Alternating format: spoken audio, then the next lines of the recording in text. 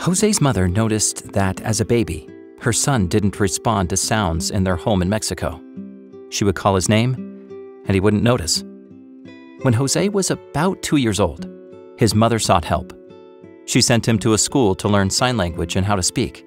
His teacher taught him the sounds of letters and words. He put his hand to her throat when she spoke, and then tried to replicate the sound with his own throat. His mother cried because her son couldn't hear her voice. Don't worry, the teacher said. Have patience. Everything will work out fine. Each day, Jose went to the sign language school for two hours before going to an Adventist school for another two hours. The church school taught him how to read and write, but most importantly, it taught him about God. He attended this school up to the age of eight. Since the school didn't have teachers who knew sign language, Jose's mother ended up sending him to a public school with teachers who could communicate with him.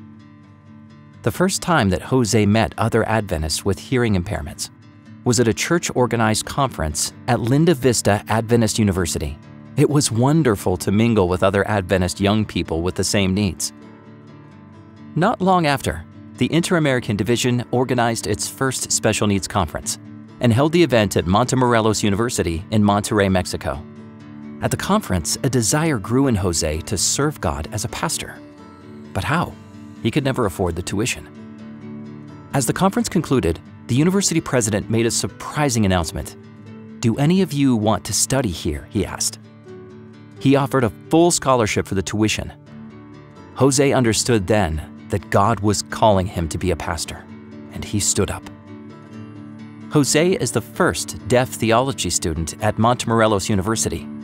It's difficult because almost no one else knows sign language. He concentrates hard and tries to read the teacher's lips. In his first year, he failed several classes, but pressed on, knowing that God had big plans for him. He has led several evangelistic meetings for the hearing impaired, including one in Mexico City. Several churches with deaf people have invited him to preach. Jose has a desire in his heart to serve as a pastor. He dreams about going to the mission field one day, ministering to the hearing impaired. Please pray for the students like Jose who are willing to do big things for the Lord.